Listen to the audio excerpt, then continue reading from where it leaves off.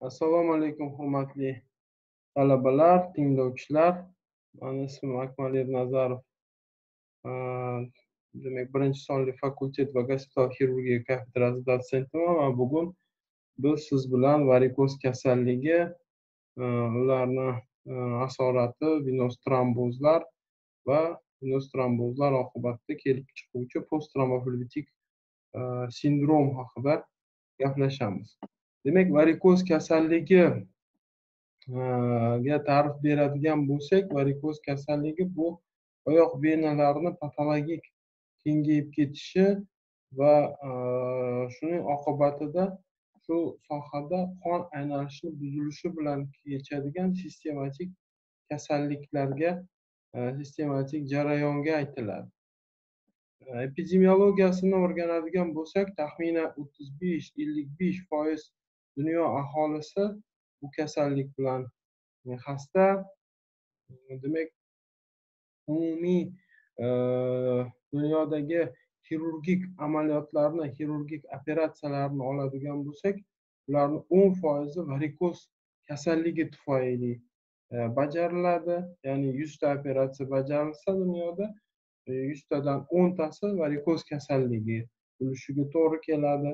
Demak, ko'proq bo'yi uzun, novcha odamlar bu kasallik bilan xastalanadi va e, demak, professional e, nuqtai nazardan qaraydigan bo'lsak, demak, professional kasalliklar turkumiga ham kirgizsak bo'ladi. Ya'ni kasb bilan bog'liq bo'lgan e, kasalliklar turkumiga. Bundan tashqari, demak, mongoloid va negroid irqli insonlar, demak, bu kasallik bilan xastalanishi ko'proq kuzatiladi. Albatta, har bitta kasallikni e, tushunishdan oldin biz anatomiyani aniq tushunishimiz kerak. Anatomiya bizga kasallikni e, patogenezi rivojlanishida e, qanday rivojlanishi va klinik ko'rinishi qanday bo'lishini bizga anatomiyani tushunganimiz bizga yordam beradi. Demak, venos, oyoq venos sistema uchta sistemadan iborat yuzaki venalar, chuqur venalar va kommunikant venalar. Yuzaki vena e, demak teri, teri osti sohasidan qonni yig'ib oladi. Demak, yuzaki vena ikki e, taga bo'linadi. Insonlarda bu katta teri osti venasi. Kursiv bilan ko'rsatyapman. Demak, katta teri osti venasi ichki to'piqni oldingi yuzasidan boshlanib, demak, oyoqni ichki yuzasi bo'ylab kelib, demak, mana bu e, son chuqurchasida chuqur venaga quyiladi. Va kichik teri osti venasi bu boldirni orqa yuzasi bo'ylab, demak, tepaga ko'tarilib, taqim osti chuqurchasida taqim osti e, venasiga quyiladi. Demak, ikkinchi sistema bu chuqur venalar sistemasi. Chuqur venalar e, mushak, asosiy qonni olib ketadi. Mushaklardan ham mushaklardan oladi qonni.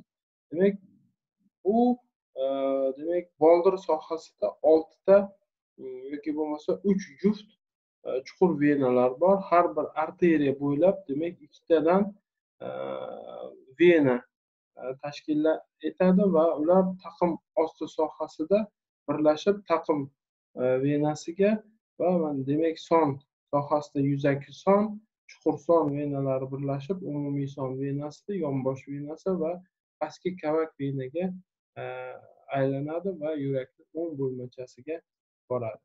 Va uchinchi sistema bu e, demak, yuzaki venalarni chuqur venalar bilan boylab bog'lab turadigan sistema. Bu ya'ni bog'lovchi, kommunikant venos sistema. Mana bu kursiv bilan ko'rsatyapman. Bular gorizontal yo'naladi Demak, yuzaki venalar yana bir marta qaytaraman. Demak, mana bu chuqur venalar va ularni boylab bog'lab turadigan, demak, kommunikant venalar turkumiga e, kiradi. Demak, mana shu e, uchta sistema bizdagi insonlardagi qonni venoz qon aylanishini ta'minlaydi. Demak, mana sxematik yana bir ko'ramiz. Mana e, och ko'k rangdagi bu yuzaki e, teri osti venalari. Demak, chuqur e, venalar to'q ko'k rangda belgilangan va kommunikant venalar mana ko'rinyapti. E, demak, son sohasida ko'proq boldir sohasida uchraydi va sxematik tarzda mana bunday tarzga ega endi venalardagi asosiy bir element bu ulardagi klapan apparatidir demak chuqur venalarda ham yuzaki venalarda ham klapan apparati mavjud klapan apparatini e, prinsipi ishlash prinsipi tepaga qarab ochiladi mana e, demak ya'ni yurakka qarab ochiladi va pastga e, yopiladi. Smikatsiya qiladi ya'ni o'sha qonni pastga qarab yurmasligini ta'minlab beradi. Demak mana sxematik ravishda yuzaki venalarda ham tepaga qarab ochiladi. Chuqur venalarda ham tepaga qarab ochiladi va kommunikant venalarda yuzaki venadan chuqur venaga qarab qonni o'tkazish uchun demak chuqur venaga qarab ochiladi. Mana demak sxematik ravishda klapanni tuzilishi mana shunday tarzda bo'ladi. Mana shu e, klapanlar bizda e, kasallikni shu klapanlarni buzilishi kasallikda asosiy demak patogenezida rol o'ynaydi va biz unga yana hali qaytamiz. Lekin man shu joyda yana bir narsani aytmoqchi edim. Demak mana shu klapanlarni mm, ahamiyatli eng ahamiyatlisi demak mana bu yerda demak yuzaki venadan chuqur venaga o'tar e, joyda ostial klapan degan asosiy klapan bo'ladi. Mana shuni e, ish faoliyatini buzilishi katta teri osti venasini kengayib ketishigacha olib keladi. Bu to'g'risida yana gaplashamiz. Endi har bir hmm, insonda mantiqiy savol tug'iladi mana arteriya bo'ylab qon demak yurakdan chiqadi va arteriya bo'ylab tarqaladi. Demak qonni tarqalishiga turtki bo'luvchi yurakda hosil bo'ladigan bosim. Lekin venalarda qon qanday yo'l orqali qaysi bosim orqali demak harakatga keladi? Ya'niki suyuqlik pastdan tepaga qarab qanday e, nima uchun harakatga kelib yurishni boshlaydi? Bu albatta mm, tabiiy savol. Bu savolga e, javob berish uchun bir nechta sistemani e, demak tushuntirishadi olimlar. Birinchisi bu arterial bosimni ta'siri ya'ni qon Э, arteriyalar bo'ylab kelib venalar arteriyalardan o'tib demak o'sha kapillarlardan asta sekin venulalarga o'tib e, demak izma iz kelganligi uchun demak birinchi birlamchi bosim yuzaga keladi va venoz oqim paydo bo'ladi. Ikkinchi holat e, ikkinchi tushuntirish bu e, demak tomirlar ichi va tomirlar aro ya'ni to'qmalar bosimini gradienti ya'ni bir biriga bo'lgan nisbatini o'zgarishi natijasida demak to'qmalardan suyuqlik э, venulalarga o'tib demak ular э, u yerda harakat birlamchi harakat yuzaga kelishi. Keyingi э, venalardagi qon oqimiga ta'sir qiluvchi omillardan biri bu arteriyalar pulsatsiyasi. Boya aytganimizdek har bir arteriya atrofida ikkitadan vena bo'ladi. Boldir sohasida masalan boya misol qilib keltiruvdik. Demak ana shu arteriyalardagi pulsatsiya venalarga ham ta'sir qilib demak ularni tebranishi natijasida ulardagi o'sha e, qonni e, harakatini kuchayishiga olib keluvchi yana bir ta'sir kuchi deb hisoblanadi. Keyingi ta'siri kuchi bu mana bu oyoq kaft qismida e, bo'ladigan g'ovaksimon moddada e, demak o'sha suyuqlik yig'iladi ya'ni qon yig'iladi venoz qon yig'iladi va inson oyog'ini harakat qilganda ya'ni yurganda bosganda demak mana shu yerdagi g'ovaksimon e, qismidagi demak suyuqlik qismi demak tepaga qarab harakatlanishni boshlaydi. Ya'ni venoz tepaga qarab harakatlanishni boshlaydi. Bunga bir misol qilib keltiramiz. Tushunishinglar uchun demak har bir inson mana charchaydi ko'p yurganimizda ko'p turganimizda charchaymiz oyog'imizda og'irlik hissi paydo bo'ladi. Va agar shunaqa holatlarda demak oyog'imizni bir qirralik joyga yoki bir zinaga yoki bir e, qirralik joyga bosib o'sha kaft qismimizni mana shu qismimizni bossak bir e, yengillik his qiladi inson. Nima uchun? O'sha oyoqdagi mana shu sohadagi e, demak sinuslardan demak e, qonni suyuq qismi chiqishni boshlaydi ezilishi natijasida va e, demak harakat yuzaga kelib venos qon tepaga qarab oqishi kuchayadi. Asosiy sabab vena tomirlaridan qon tepaga qarab oqishiga bu mushak venoz pompa sistemasi. Ya'ni boya aytganimizdek chuqur venalar e, mushaklar orasida joylashadi va mushaklarni qisqarishi e, chuqur venalarni qisqarishiga olib keladida demak e, qon tepaga qarab harakatlanadi. Tepaga qarab harakatlanishini ta'minlovchi element bu klapan albatta. Boya aytganimizdek u faqat tepaga qarab ochiladi o'shaning uchun demak qon tepaga qarab harakatlanadi. Demak pastga ochilmaydi. Sog'lom odamda klapan. Shuning uchun qon pastga qarab ketib qolmaydi. Demak mana shu venos mushak pompa asosiy bizga demak qonni tepaga qarab haydab beradi. O'shaning uchun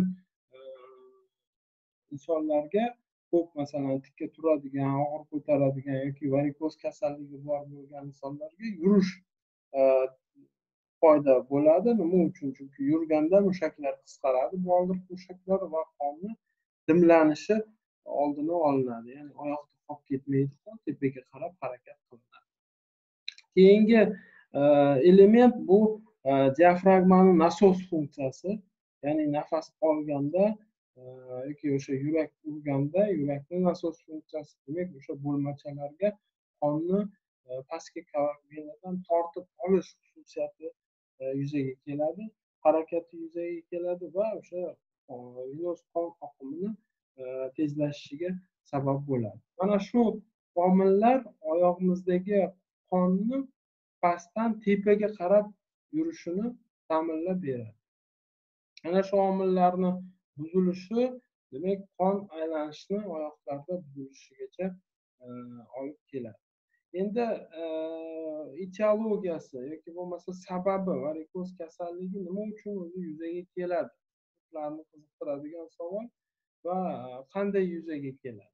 Demak yuzaga kelishiga bir nechta omillar mm, sabab bo'ladi. Birinchisi bu yosh deb belgilaganmiz. Mana e, yoshi katta bo'lgan sari insonda demak kasalliklar qo'shilib boradi. Xususan demak varikoz kasalligi ham yoshi ulug' insonlarda ko'p uchraydi. Buni demak ko'p tadqiqotlar isbotlagan. Mana man qovusich yozganman. Demak o'n o'n ikki yoshli insonlar tekshirilganda bolalar o'n foizga yaqin varikoz kasalligi uchragan bo'lsa shu populyatsiyadagi shu e, demak sohada e, shu regionda yashovchi insonlarni yetmish sakson yoshli e, populyatsiyasida bu kasallik yetmish foizgacha uchrashi kuzatilgan ya'ni yoshga bog'liqligi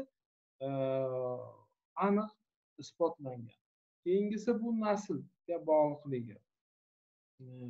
Nasliy omillar ya'ni ota onasida yoki bitta otasida yoki onasida bo'lgan mm, kasallik farzandiga ham nasliy o'tishi. Ya'ni varikoz bilan xastalangan ota ona taxminan to'qson foizda agar ikkita ham ota ham ona zararlangan bo'lsa demak farzandni to'qson foizida kasallik rivojlanishi ehtimolligi bo'ladi. Endi nasliy omilga nima kiradi? Nasliy omilga demak genetik e, darajada biriktiruvchi to'qmani e, sustligi biriktiruvchi to'qmadagi nuqsonlar kiradi. Ya'ni biriktiruvchi to'qma bu kollagen va elastin tolalarini bir biriga bo'lgan nisbati o'zgaradi. Kollagen va elastin tolalar biz bilamiz tomirni devorida e, strukturasiga kiradigan tolalar. Ana shuni bir biriga bo'lgan nisbatini o'zgarishi biriktiruvchi to'qmani susayishiga olib keladi va tomirni sustligiga olib keladi va xususan varikoz transformatsiyaga o'sha tomirlarni kengayib ketishiga va kasallikni rivojlanishiga olib keladi. Endi mana shu yerda man bir narsani aytmoqchi edim. Biriktiruvchi to'qmani sustligi nafaqat tomirda namoyon bo'ladi balki qayerda biriktiruvchi to'qma bo'lsa o'sha yerda namoyon bo'ladi buni mana e, demak praktikada ko'rishinglar mumkin e, masalan e, varikoz kasalligi bor bo'lgan insonlarni ko'pincha oyog'ida yassi oyoqlik bo'ladi yoki bo'lmasa ikssimon oyoqlik yoki ovsimon oyoqlik ya'ni o'sha bo'g'im tayanch harakat apparatidagi o'sha biriktiruvchi to'qmalardagi muammolar ham bo'ladi. Yoki bo'lmasa mana qora old devori ham biriktiruvchi to'qimasi bor aponivrozlar ana buni ham sustligi churra kasalligiga olib keladi. Demak mana churra kasalligi bor bo'lgan bemorlarni ham aksariyatida varikoz kasalligi bo'ladi. Nima uchun? Chunki biriktiruvchi to'qma qayerda e, bo'lsa o'sha yerda suslik yuzaga keladi va u suslik oqibatida kelib chiquvchi kasalliklar insonda e, birga namoyon bo'lishi mumkin. Keyingisi bu jinsga bog'liq. Ya'ni e, jinsga bog'liq bo'lgan omillar ya'ni albatta ayollar ko'p e, xastalanadi deymiz. Mana to'rtga bir nisbat yozilgan ya'ni to'rtta ayolga bitta erkak. Bu kasallik bilan og'riydi. Lekin mana hovuzchida to'qqizga bir indeksini man qo'yib qo'ydim. Demak bu degani ayollar ko'proq o'ziga e'tibor beradi. Ya'ni bu varikoz kasalligi shu buzilishiga bog'liq bo'lganligi uchun ko'proq e, e'tibor berib demak e, shifokorga shu muammo bilan murojaat qilish foizi ya'ni to'qqizga bir ekan. To'qqizta ayol bitta erkak. E, shu muammo bilan shifokorga murojaat qiladi. Albatta murojaat qancha ko'p bo'lsa kasallikni topilishi ham yuqori bo'ladi. Lekin yoshi e, oltmish yetmish yoshga borgan insonlar o'rganilganda bu nisbat birga birligi aniqlangan. Keyingisi homiladorlik omili ya'ni homiladorlikda ko'p uchraydi. Kasallikni rivojlanishi mana yigirma o'ttiz foiz deb yozganmiz bundan ham ko'proq bo'ladi. Homiladorlikda ko'payishiga asosiy sabablardan biri bu gormonal o'zgarishlar. Homiladorlikdagi ayollardagi gormonal o'sha progesteron estrogen gormonlarini o'zgarishi natijasida e, demak o'sha e, tomirlar devoriga bu gormonlar ta'sir qilib tomirlar devorini sustligini tomirlarni kengayishini e, sababchisi bo'ladi va demak homilador ayolda varikoz kasalligini rivojlanishiga olib keladi. Ikkinchi sabab homiladorlikda varikozni e, ko'payishiga bu homilani qorin ichida demak o'sha qorin orti sohasidagi magistral venalarni bosishi ya'ni chanoq sohasida e, o'sha e, pastki kavak vena yonbosh venalarni ezishi natijasida demak o'sha bosimni oshishi natijasida venalar chiqib ketishi kuzatiladi va albatta homiladorlikda qon hajmi oshishi natijasida venalarni soni ham oshadi. Endi mana shu yerda bir e, narsani aytmoqchi edik demak ko'pincha e, homilador ayollar keladi ultratovush qilingan ultratovushchi demak bachadon venalaringiz kengayib ketibdi varikoz bo'libdi va hokazo hokazo e, bir e, qo'rqinchli gaplarni aytishadi. Bu albatta kichik chanoq varikoz kasalligi ham bor lekin homilador ayolda bachadon venalari fiziologik kattaradi. Endi mana qizlardagi bachadon masalan yetti sakkiz santimetr bo'lsa homilador ayolni bachadoni uch kilo to'rt kilo farzand sig'adigan darajada bola sig'adigan darajada kattaradi. Albatta kattalashgan organda tomirlar ham kattaradi.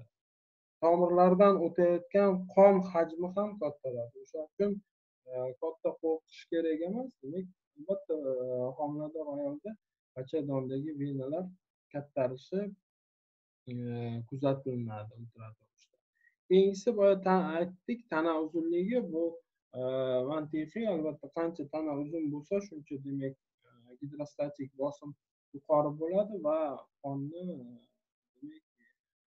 hajmi yuqori bo'lganligi natijasida tomirlarni kengayishi ham e, ko'payadi. Va e, oxirgisi bu hayot tarzi hayot tarziga misol keltiramiz og'ir jismoniy mehnat bajaruvchilar kuchlar og'ir ko'taradiganlar yoki bo'lmasa tikka bitta joyda turadiganlar kuni bilan demak ko'p bitta joyda o'tiradigan insonlar bularda demak o'sha dimlanish oqibatida bosim oshishi oqibatida qon tomirlarida e, transformatsion o'zgarishlar natijasida bu kasallikni e, rivojlanishi oshadi mana demak ko'rsatgan oltita omillarimizdan beshtasini o'zgartirib bo'lmaydi.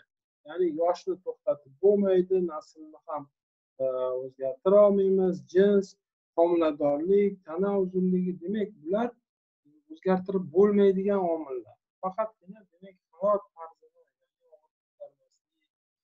yoki bo'lmasa demak ketma ket homiladorlik bo'lmaslik mana shu insonni o'zi e, kontrol qilishi mumkin bo'lgan e, qismi e, bu omillarni. Demak bu omillar ta'sirida venoz bosim oshadi venalar dilatatsiyasi klapan yetishmovchiligi venalar devori o'zgaradi va venoz transformatsiyaga keladi. Albatta varikoz kasalligi boya ta'rif aytganimizda demak tomirlarni devorini kengayib ketishi varikoz kengayib ketishi bularni transformatsiyasi va kengayib ketish oqibatida shu sohada qon aylanishi buzilish belgilarining namoyon bo'lishi bu varikoz kasalligi deymiz. Demak yana bir takrorladik. Varikoz kasalligi bo'lishi uchun albatta venoz transformatsiya bo'lishi kerak. Ya'ni tomirni devori o'zgarib ketgan bo'lishi kerak. Endi bu yerda man bir misol faqat kengayishni o'zi bu varikoz kasalligi emas e, demak albatta transformatsiya bo'lishi kerak. Man misol keltiraman tushunishinglar uchun har birimiz qo'limizdan qon oldirganmiz tomirimizga ko'zdagi kubital vena deymiz dori olganmiz ana shu jgут boylanganda vena kengayadi. Normal sharoitda venalar yigirma yigirma besh foizgacha kengayadi va o'sha dori qilib bo'lgandan keyin jgutni qo'yib yuborsak vena yana o'z joyiga qaytadi. Ya'ni kengaygan vena bu varikoz kengaygan venani o'zi varikoz emas. Demak albatta transformatsiya ya'ni tomirni devori o'zgargan bo'lishi kerak. Tomirni devori o'zgargan bo'lishi kerak. Endi har bir kasallikni Э, klinik ko'rinishi bor. Э, ya'ni э, varikoz bilan xastalangan bemor nimaga shikoyat qilib keladi shifokorni oldiga? Buni tushunish uchun albatta klassifikatsiyalardan foydalanamiz. Demak biz birinchi yablokov klassifikatsiyasi to'g'risida gaplashamiz. Yablokov klassifikatsiyasi bo'yicha surunkali venoz yetishmovchilik darajalari bor. Mana nollinchi daraja og'ir oyoqlar simptomi? Telangiektaziyalar retikulyar varikozga shikoyat keladi. E, bemor demak mm, oyog'ida tomirlar chiqib ketganligiga desak ham bo'ladi. Birinchi darajada o'tib ketuvchi shish varikoz transformatsiyalar borligiga. Ikkinchi darajada turg'un shish giperpigmentatsiyalar ekzematoz o'zgarishlar va uchinchi darajada trofik o'zgarishlar paydo bo'ladi. Demak mana og'ir oyoqlar simptomi deganimizda demak kuni bilan bemor ishlaganda yurganda yoki bilan faoliyat kechirgandan keyin kunni ikkinchi yarmida oyoqlari og'irlik hissi paydo bo'ladi. Ya'ni oyog'iga uch to'rt kilo bir narsa boylab qo'ygandek paydo bo'ladi. Demak hissiyot paydo bo'ladi. Bu demak og'ir oyoqlar simptomi. Albatta ozgina dam olgandan keyin yoki bo'lmasa ertasi kuni ertalab bu muammolar yo'q bo'lib ketadi. O'tib ketuvchi shish deganimizda mana oyoqdagi e, shishlar e, insonda e, masalan paypog'ini yechganda iz bo'lib qolishi yoki bo'lmasa ertalab mana poyabzal kiyib ketadi kunni ikkinchi yarmida u poyabzalni yechib yana qayta kiyishi qiyinroq bo'ladi. Nima uchun? Chunki u oyog'i shishgan bo'ladi turg'un shishlari va giperpigmentatsiya bu ikkinchi bosqich. Bunda teri rangi o'zgarishni boshlaydi. Va uchinchi bosqichda trofik o'zgarishlar ya'ni trofik yaralar paydo bo'ladi. Keyingi klassifikatsiya bu siap klassifikatsiyasi ya'ni clinical etiological anatomical va patophysiological so'zlaridan olingan. Bunda e, demak chet el adabiyotlarida ko'p uchratishinglar mumkin zamonaviy adabiyotlarda shu klassifikatsiya ishlatiladi ya'ni klinik ko'rinishi. Mana yablokovda faqat klinik ko'rinishi bo'yicha edi. Klassifikatsiya bu yerda klinik ko'rinishidan tashqari etiologiyasi ya'ni birlamchimi varikoz yo ikkilamchimi o'zgarishlar anatomik segment ya'ni chuqur venalar zararlanganmi yuzaki venalar zararlangan yuzaki venalarni katta teri osti venasini kichkina teri osti venasini va patofiziologiyasi refleks hisobiga refleksni ham gorizontal vertikal turlari bor. То есть har bir e, belgi har bir e, e, nyuans e'tiborga olingan. E, endi mana klinik ko'rinishi e, demak teleangiektaziyalar ko'rinishi mana shunday bo'ladi.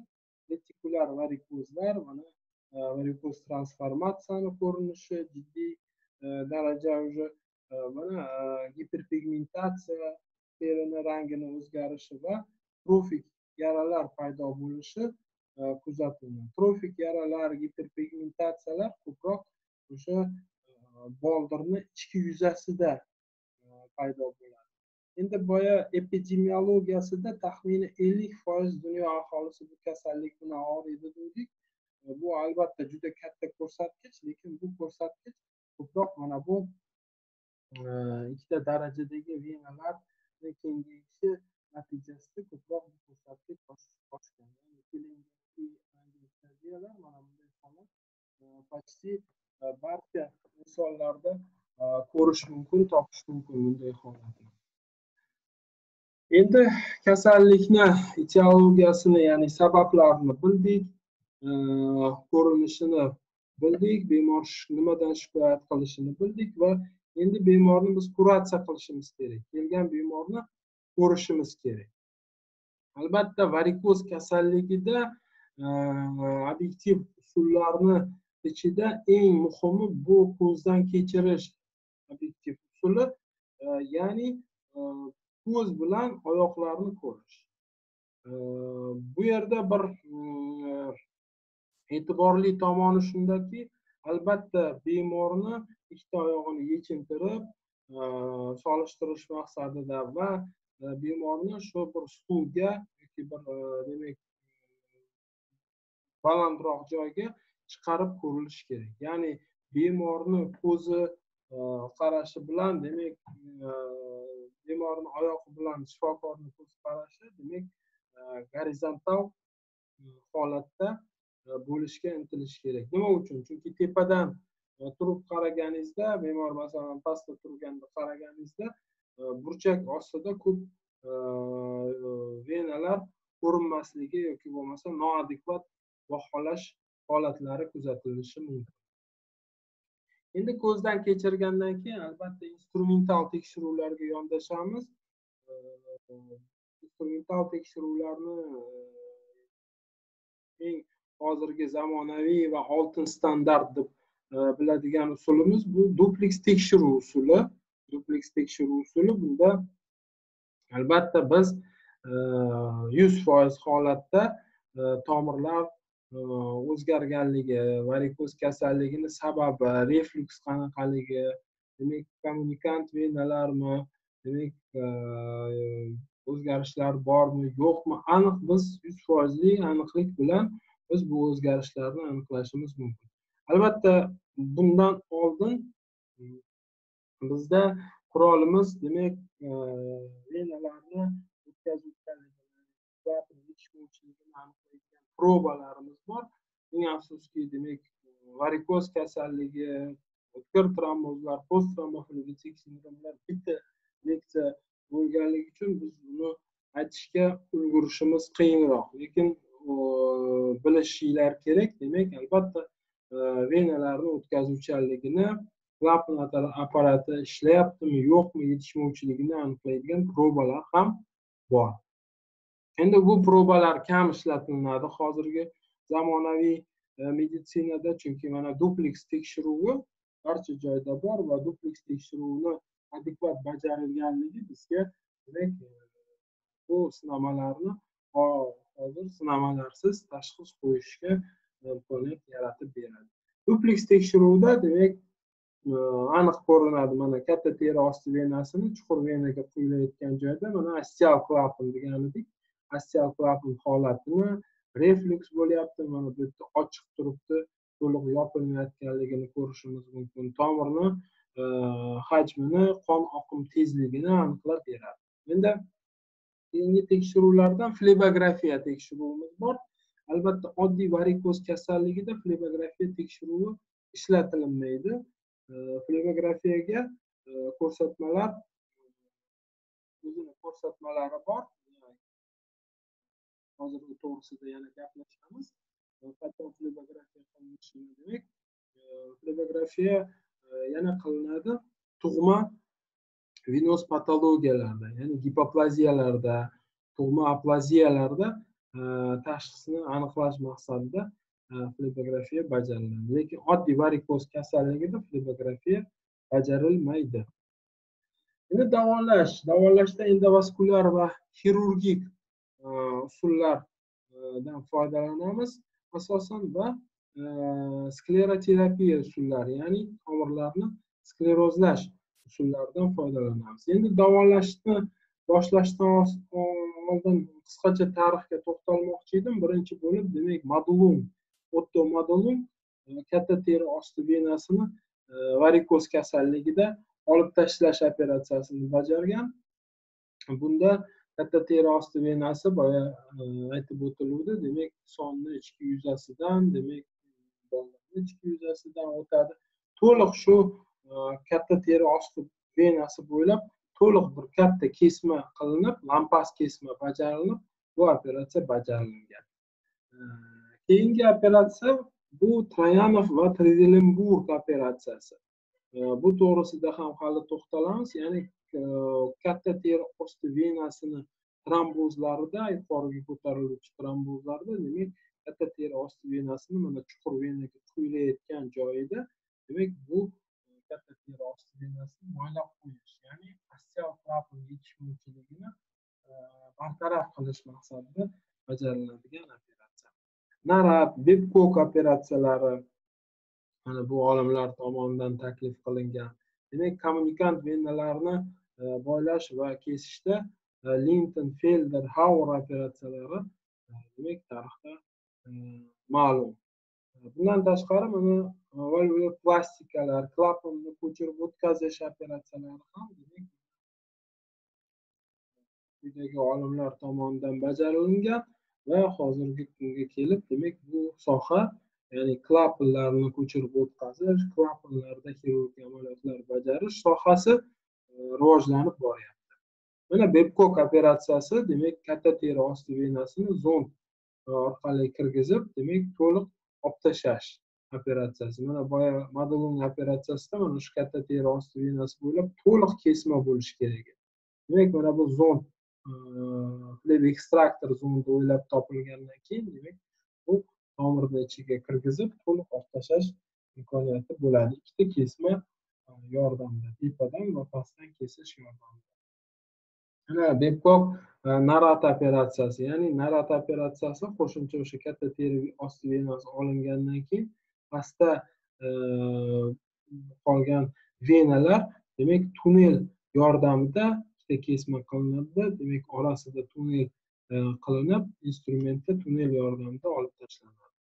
Lintin operatsiyasi bu subfassal demak kommunikant venalar disseksiyasi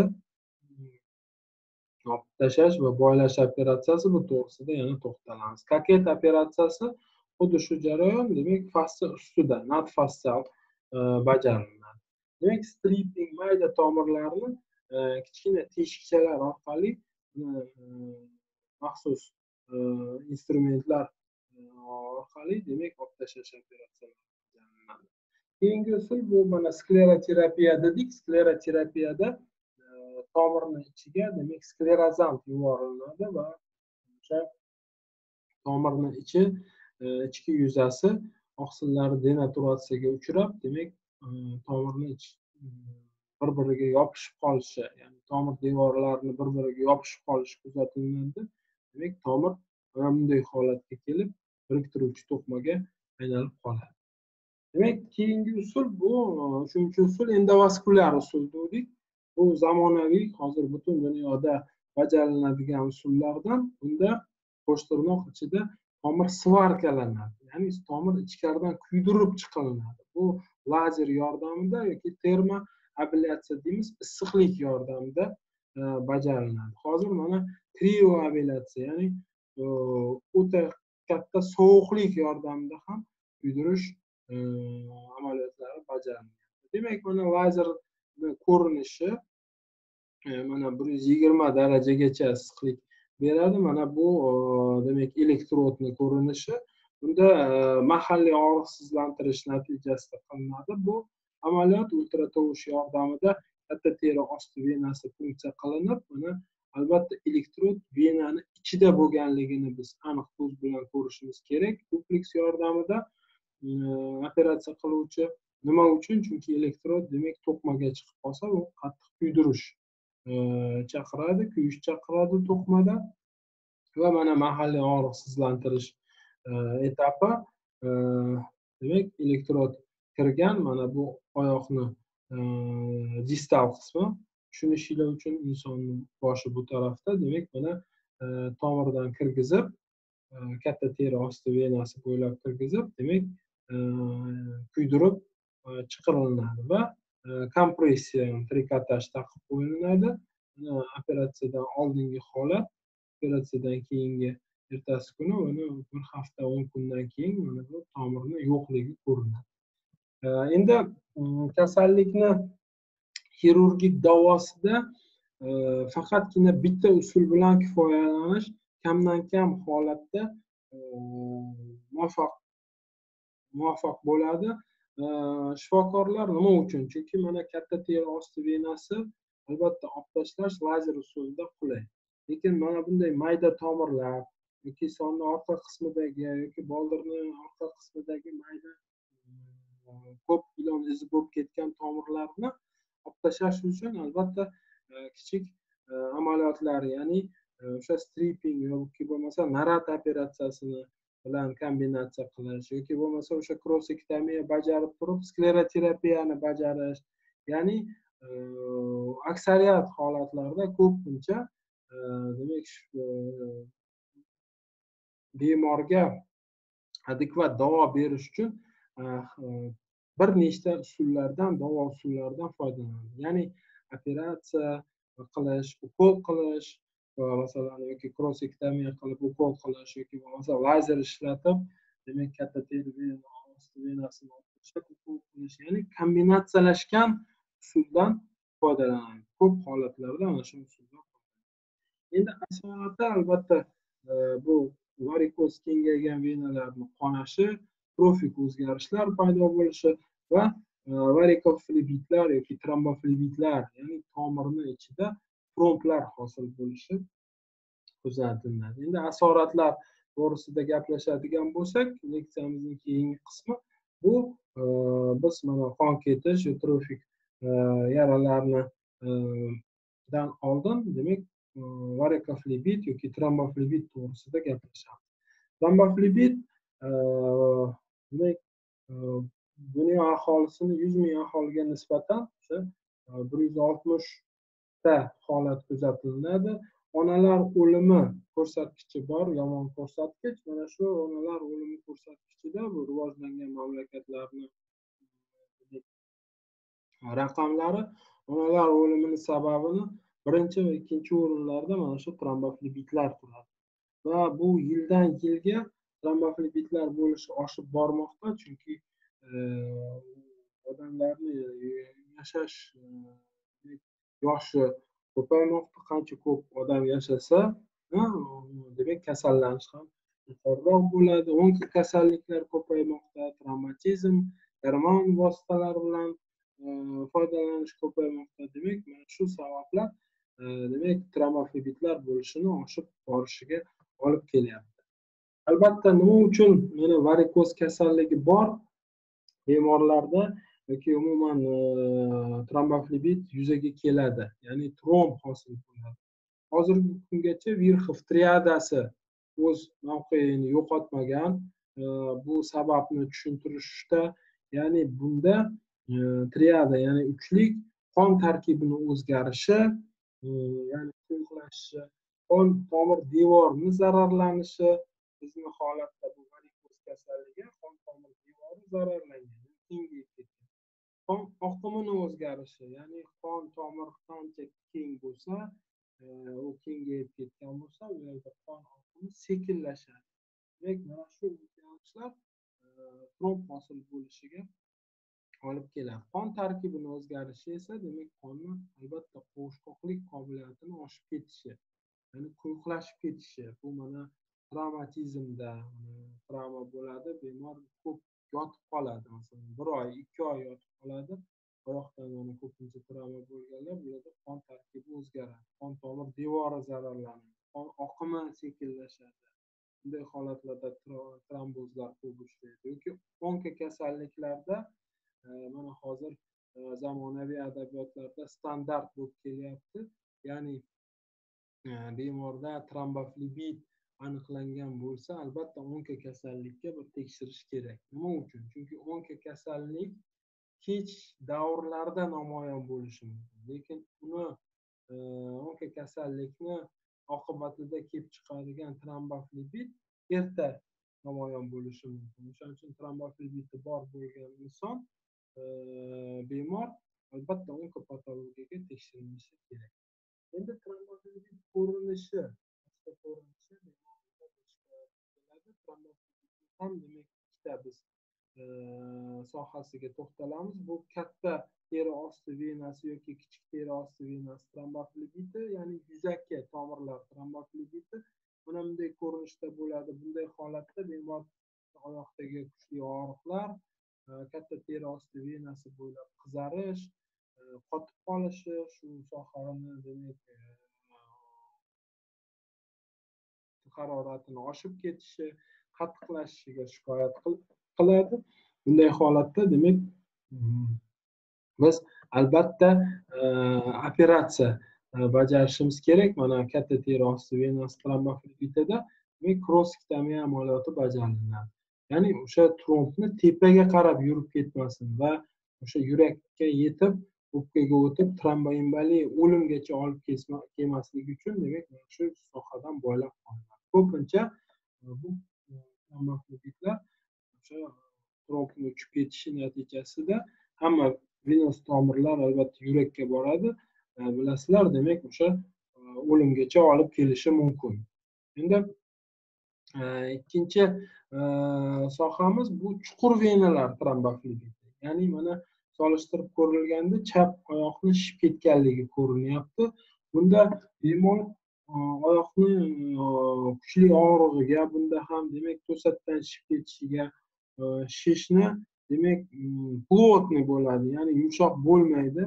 Siz e, oyoqdagi shish natijasida bemor yurolmay qoladi yurolmay qoladi va demak bemor shu shikoyatlar bilan shifokorga murojaat qiladi.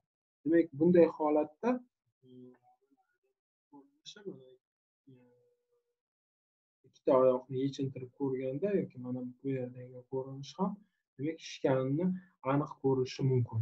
Demak bunday holatda tashxisni albatta dupleks e, yordamida biz tashxisimizni tasdiqlaymiz.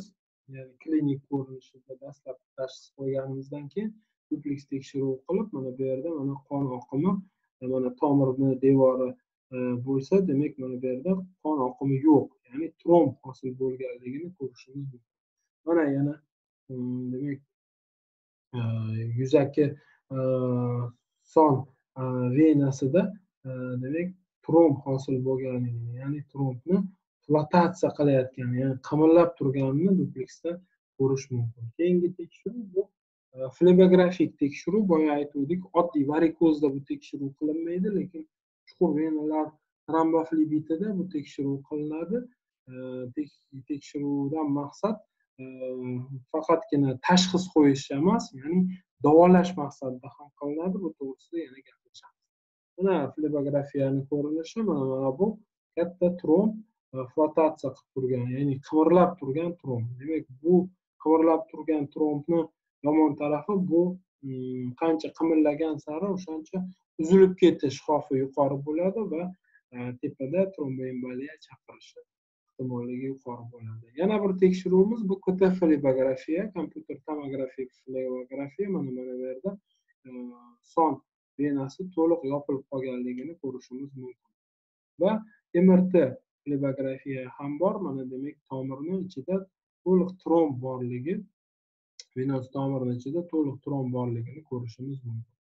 Endi e, o'tkir ilofemoral trombozda e, qo'rqadigan demak muhim joyi bu o'sha trombni uzilib ketishi va o'pka arteriyasi tromboemboliyasiga olib kelishi va o'lim bilan tugashidan biz qo'rqamiz albatta. Endi to'satdan o'lim degan tashxis bor. Ana shu tashxisni taxminan o'ttiz foiz holatlari mana shu tromboemboliya hisobiga bo'ladi. Ya'ni bemor o'zi bilmagan holatda to'satdan masalan eshitganmiz televizor ko'rib o'tiruvdi yoki hammomga kirdi to'satdan yiqilib tushib o'lib qoldi.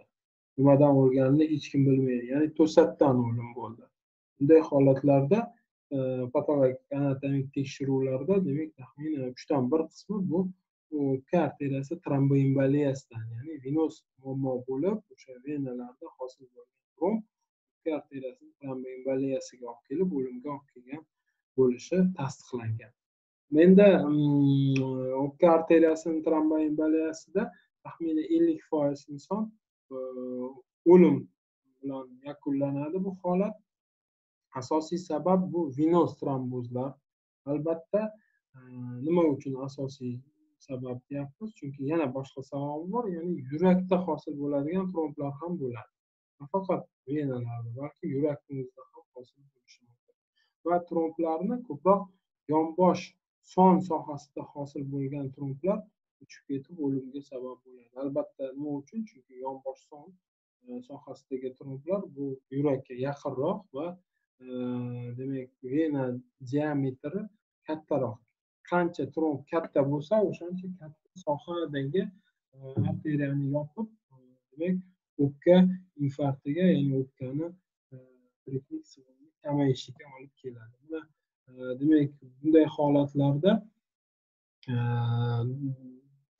ehks albatta bajarilishi kerak. Э, yurakni o'ng qismini demak перегрузкasi kuzatiladi va angipulmonografiya ya'ni o'pka arteriyalari angiografiya qilinganda mana chap o'pkani pastki e, qismi e, umuman ko'rinmayotganligi angiografik ko'rinmayotganligi tomirlar yopiqligini ko'rish mumkin bu holatda. Endi e, o'tkir venoz trombozda nima qilish kerak?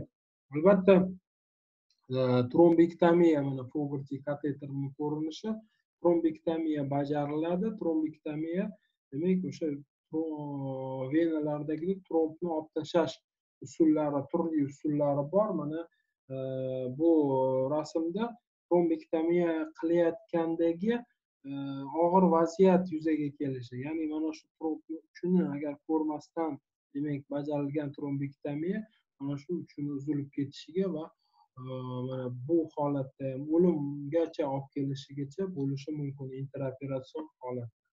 Demak mana trombektomiya bajarilgandan keyin yuzaki son venasini boylab qo'yish amaliyoti. Ya'ni chuqur venadan qon ketaveradi bu holatda.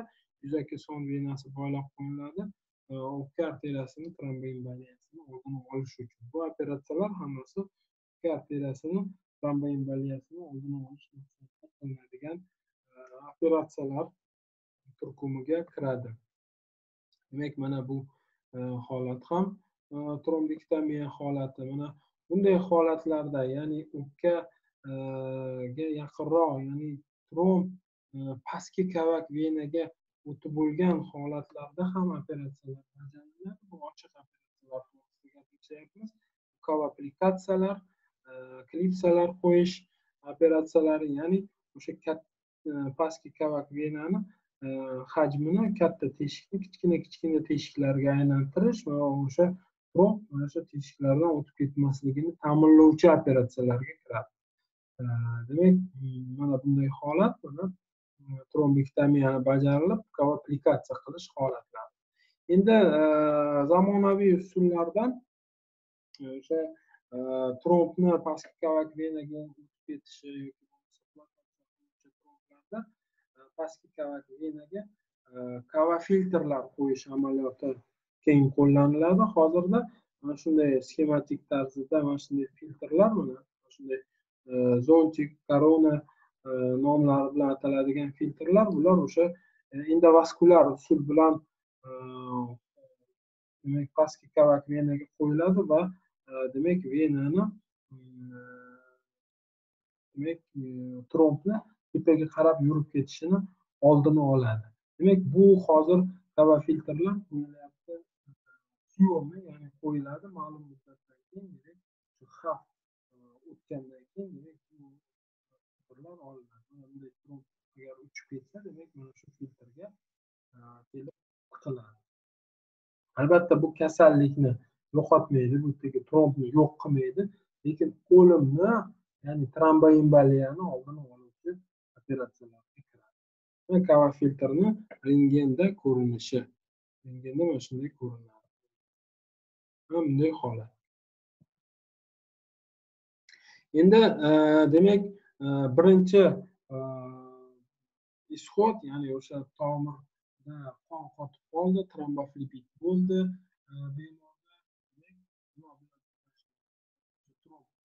mumkin va o'lim bilan tugashi mumkin demak bu birinchi ko'rinishi kasallik ikkinchi ko'rinishi kasallik rivojlanadi va trombni to'liq tomirlarni bekitilishi natijasida oyoqda qon aylanishi buziladi va mm, o'sha e, flegmaziya deymiz. Mana shu oyoqdagi qon aylanish buzilishi natijasida shish kuchayib ketishi natijasida e, demak oyoqni to'qmasi o'lishni boshlaydi va gangrenagacha olib kelishi mumkin venoz gangrenagacha e, mana bunday holatlargacha demak oqibatlargacha mumkin. Albatta bunday rivojlanish agar bunday kechuv bo'lsa bu kasallik bu amputatsiya bilan tugallanadi. Bu hayotiy ko'rsatma bilan. Agar amputatsiyani vaqtida qilinmasa o'limgacha e, olib keladi.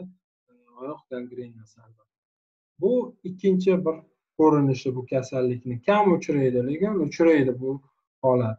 Uchinchi ko'rinishi asta sekin e, dori darmonlar bajarilgan muolajalar natijasida o'sha yopilib qolgan tomir rekanalizatsiyaga uchrashni boshlaydi.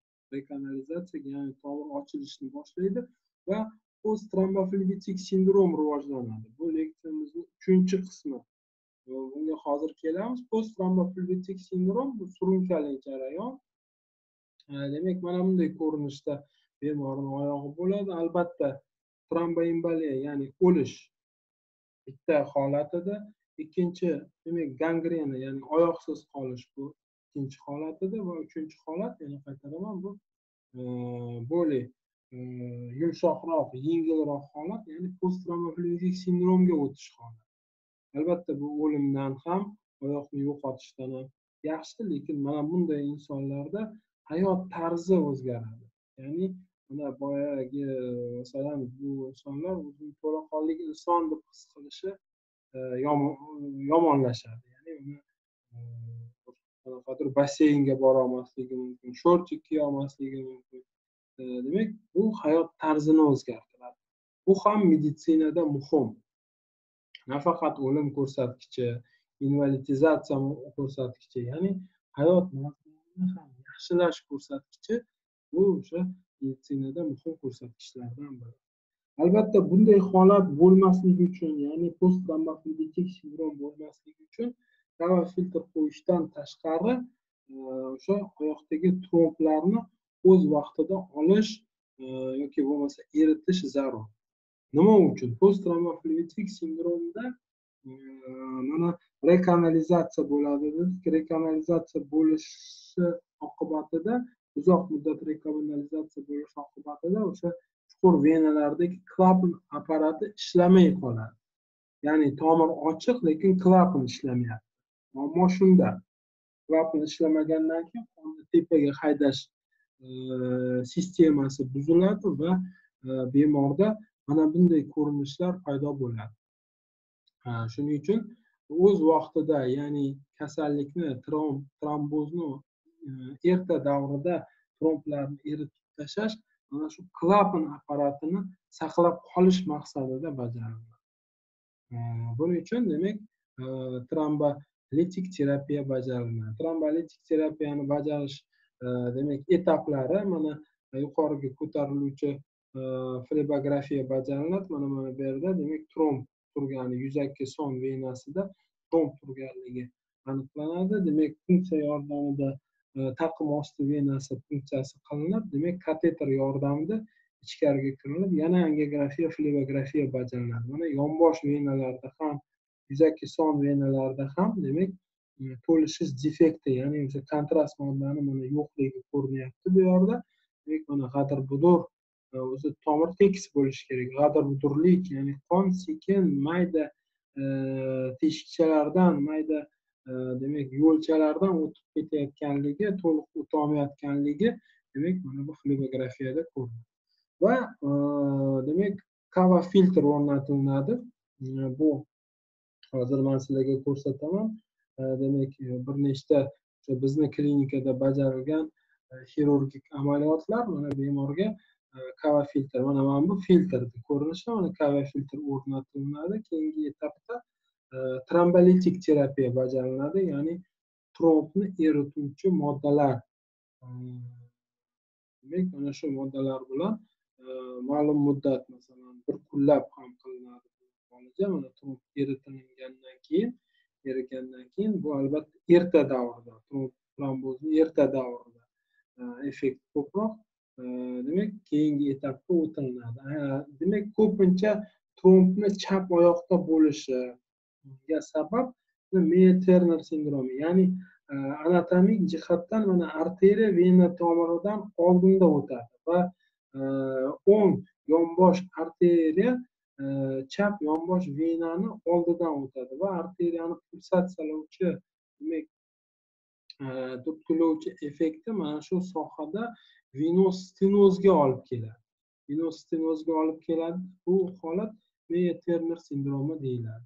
Mana bunday holatlarda e, endovaskulyar usulda mana stenoz endovaskulyar usulda mana bu yonbosh venasini dilatatsiyasini bajarib bu e, venaga mana bu holatda stent qo'yilib venalarga ham stent qo'yiladi. Stent qo'yilib demak muammoni bartaraf qilinishi kerak. Nimaga? Chunki faqat trombolitik terapiya kava filtr qo'yib trombolitik terapiya bajarilganingiz bilan demak venos stenozni bartaraf qilmasangiz yana qayta tromboflebit bo'ladi va mana e, balon ballon bilan kengaytirib mana stent ko'rinib turibdi va o'tkazuvchanlik to'liq Э, tiklangan holatini ko'rsak bo'ladi.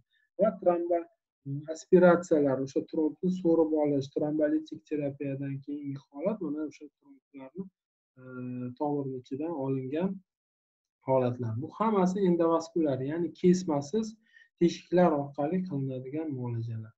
Va kavafiltr buni e, albatta bu yot jism buni o'zi ham tromb chaqirishi mumkin e, lekin bu iner e, metalldan qaramasdan tavsiya qilinadi. Hozirgi zamonaviy e, endovaskulyar xirurgiyada buni olib tashlashni uch to'rt haftadan keyin albatta buni olib tashlash tavsiya qilinadi. Mana ichida tromblar tiqilib turganligini ko'ryapsiz. Ya'ni havo filtr qo'yilgani bu e, bemorga foyda bergan ya'ni tromb tepaga qarab uchib ketmagan.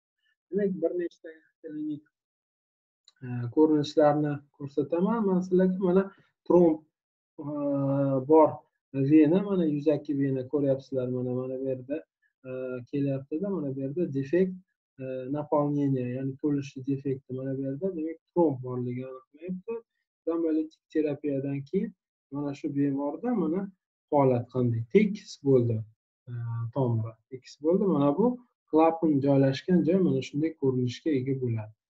Demak keyingi bemor mana shu bemorni o'zi kava filtr tepaga qo'yilgan holati mana bu yerda ko'rdinglar demak kava filtrdan tashqari qo'yilgandan keyin flebografiya qilinganda mana э, yonbosh venalarni demak э, tromblar borligi ko'rinyapti. Qo'yib olganimizdan keyin demak trombolitik terapiya bajarilgandan keyingi holat mana yonbosh venalarni o'tkazuvchanligi to'liq tiklandi. Mana bu yerda e, o'sha meya terner sindromi bo'lgani uchun e, yana bir mana ko'rsataman demak mana trombolizisdan oldingi holat ko'ryapsizlar. To'liq o'tmayapti. Va mana trombolizisdan keyingi holat. To'liq kontrast modda venadan o'tib ketayotganligini ko'rishimiz mumkin holatda. Demak mana yigirma ikki yoshli bemor. Bu bemor ham tromboflebit bilan bu bemorda ham to'liq yopilib qolganligi uni o'tmayapti qon e, son venasidan va trombolitik terapiyadan keyingi holatda demak mana to'liq o'tkazuvchanlik tiklanganligi to'liq tiklanganligi endi nima uchun bu qilinadi? Boya aytib o'tilgandek post tromboflebitik sindrom rivojlanmasligi leksiyamizni uchinchi qismi post tromboflebitik sindrom. Endi mana harakatlarga qaramasdan kimdadir post tromboflebitik sindrom rivojlandi albatta bu bemorlar bilan ham shug'ullanish kerak qarash kerak bu bemorlar ham demak davolashga muhtoj bo'ladi. Post tromboflebitik sindrom o'z so'zi bilan aytib turibdi tromboflebitdan keyingi holat. Sistemali o'zgarishlar bo'ladi. Bunda bunda demak boya aytganimdek yana takrorlayman demak klapan apparati ishdan chiqadi. Mana bu chuqur venada tromb hosil bo'lganligi natijasida klapan ishlamaganligi natijasida rekanalizatsiya bo'lgandan keyin ham klapan yopilmay qoladi. Va o'sha demak e, venoz yetishmovchilik belgilari paydo bo'lib demak albatta chuqur venada bosim ko'p yuqori bo'lganligi e, sababli mana chuqur venamiz e, bosim yuqori bo'lganligi sababli demak chuqur venada yuzaki venaga o'tishni boshlaydi. Yuzaki venalar ham kengayib ketadi.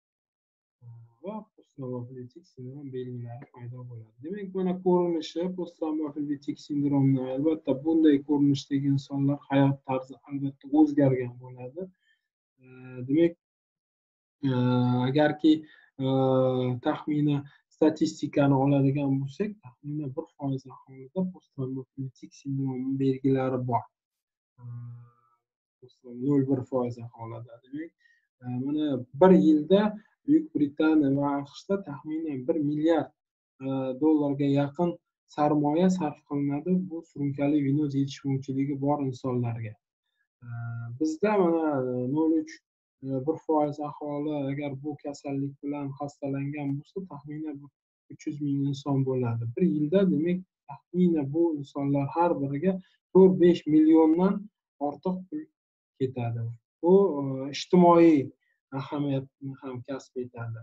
Ya'ni bu bemorlar e, ishga yaroqsiz holatda bo'ladi. Ko'pincha og'ir mehnat qilolmaydi ya'ni invalidizatsiya foizi ham kasallikda juda yuqori bo'ladi.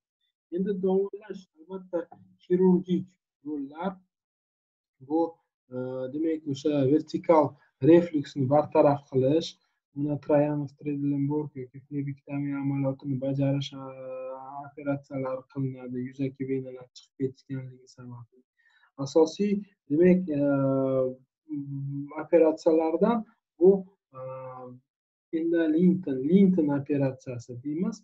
Endolintinni ham hozir gaplashamiz. Linton operatsiyasi ya'ni e, boldir sohasida mana bu sohada mana bu yerda ham ko'rsatilgan boldir sohasida kommunikant venalarni ya'ni mana bu refluksni oldini olish kerak mana chuqur venadan klapan yetishmovchiligi tepaga qarab yurmaganligi uchun mana chuqur venadan yuzaki venaga o'tib ketyapti mana shu muammoni yo'qotish uchun mana shu kommunikant venalardagi yetishmovchilikni yo'qotish uchun kommunikant venalarni demak boylash kesish amaliyoti bajariladi. Mana bu lintin operatsiyasi ya'ni fassa ostida bajariladi bu jarayon. Kaket operatsiyasida fassa ustida bajariladi bu jarayon. Demak e, uchinchi guruh operatsiyalar bu e, boya aytgandik demak zamonaviy hozir rivojlanib kelayotgan operatsiyalar guruh klapanlarda ishlash operatsiyalar ya'ni klapanlar intravazal korreksiyasi. Sun'iy klapanlar qo'yish klapanlar transplantatsiyasini e, bajarish operatsiyalari e, qo'llaniladi. Va to'rtinchi guruh operatsiyalar bu aylanma yo'llar hosil qilish yoki palma operatsiyasi deymiz. Mana qon kelyapti bu yerda yonbosh tomir e, yonbosh vena yopiq va o'tish qiynalyapti demak qovoqni ustidan demak venos anastomoz qo'yiladida. Demak qon o'tkazuvchanligi qisman tiklanadi. Endi linton operatsiyasi mana bu sxematik ko'rinishda e, bajarilgan bajarilishi buni ham demak kamchiliklari bor. O'sha boyagi qorayib turgan oyoq induratsiya bo'lgan oyoqni kesganda nekroz bo'lishi yiringlashi e, limfostaz bo'lishi e, mana shu kamchiliklar bu sohani rivojlantirishga bir sabab bo'lganda demak mana shu olimlar edmunds hauer olimlari demak mana shu e, kasallikda e, subfassal ya'ni e, disseksiyani endoskopik usulda bajarishni taklif qilishgan. Endoskopik usulda. Ya'ni o'sha endoskopik uskunalar yordamida oyoqni demak mana zararlangan sohasini mana lintin operatsiyasini o'zida mana shu zararlangan sohasi kesiladi. Albatta mana yarasi bor mana bunday holatda qorayib turgan kesgandan keyin uni bitishi juda qiyin.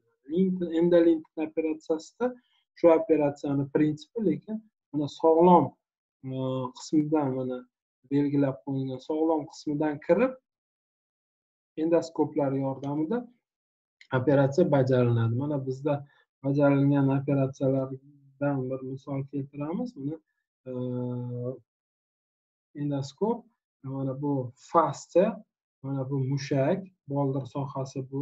Mana shunday bo'shliq hosil qilinadida bo'shliq hosil qilinib demak havo yuborib shu bo'shliqqa demak buni tomir topilib kommunikant tomir topilib bu koagulyatsiya qilinadi. Tomirni albatta hajmiga qarab kichkina hajmda bo'lsa koagulyatsiya bajariladi yoki bo'lmasa mana mana shu tomir bor kommunikant vena ya'ni mana chuqur vena bu yerda bo'lsa yuzaki vena bu yerda ana shu chuqur venadan yuzaki venaga o'tayotgan e, tomirni yoki mana klipsa qo'yiladi kattaroq tomir bo'lsa kalkulyatsiya qilsa qonaydi u.